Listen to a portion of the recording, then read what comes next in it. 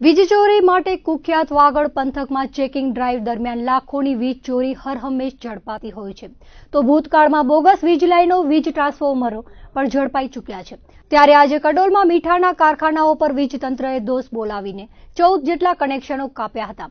વાગડ વિસ્તારમાં વીજ ચોરીનું દૂષણ વર્ષોથી ફેલાયેલું છે. કાયદો વ્યવસ્થાની સ્થિતિ કથળી હોવા છતાં એક પણ તંત્રની પકડ અહીં ન હોય તેવી સ્થિતિ જોવા મળી રહી છે. વીજચોરી ઝડપવા સ્થાનિક તેમજ જેયુવીએનએલની ટીમો દ્વારા જ્યારે પણ ધામા નાખવામાં આવ્યા છે ત્યારે લાખો રૂપિયાની વીજ ચોરી ઝડપાઈ છે. ભૂતકાળમાં કિલોમીટરો લાંબી બોગસ વીજ લાઈનો તેમજ ટ્રાન્સફોર્મરો પણ ઝડપાઈ ચૂક્યા છે. જે બાદની તપાસમાં અનેક અધિકારી કર્મચારીઓને ગરભેગા થવાની પણ સ્થિતિ ઊભી થઈ છે. છેલ્લા લાંબા સમયથી ભચાઉ તાલુકાના કડોલમાં મીઠાના અગરો કારખાનાઓમાં વીજ ચોરી થતી હોવાની વ્યાપક ફરિયાદો ઉઠી રહી હતી. તેવામાં આજે વીજતંત્રની ટીમોએ સપાટો બોલાવ્યો હતો.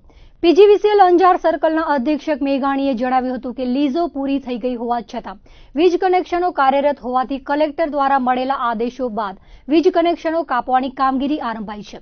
જો કે કેટલા કનેક્શનો કાપવાના છે તે અંગેની વિગતો સંદર્ભે તેમણે અજાણતા દર્શાવી હતી.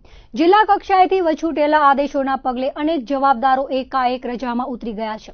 તો આ તપાસનો રેલો પૂર્વ કર્મચારીઓના પાણીએ પણ આવી શકે તેમ છે.